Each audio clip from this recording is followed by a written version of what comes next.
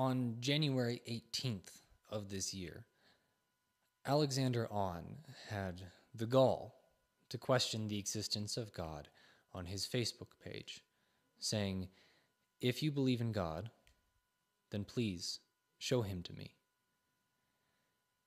In response, a mob of angry people stormed his place of work in Indonesia and beat him.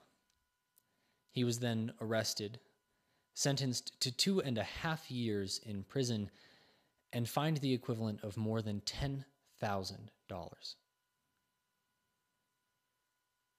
No punishment for his attackers has been reported.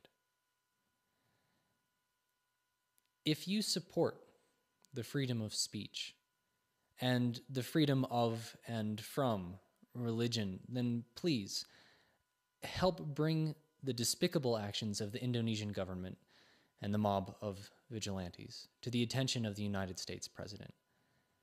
Not only is this an important issue of civil rights, but Indonesia is in violation of the Co- International Covenant on Civil and Political Rights, a treaty which it signed.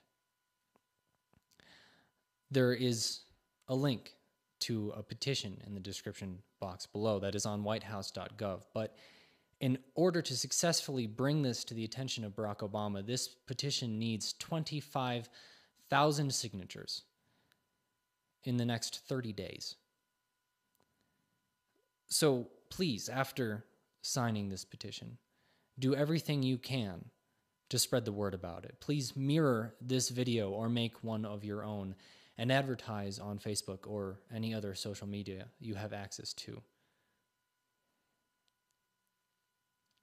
Thank you for your help.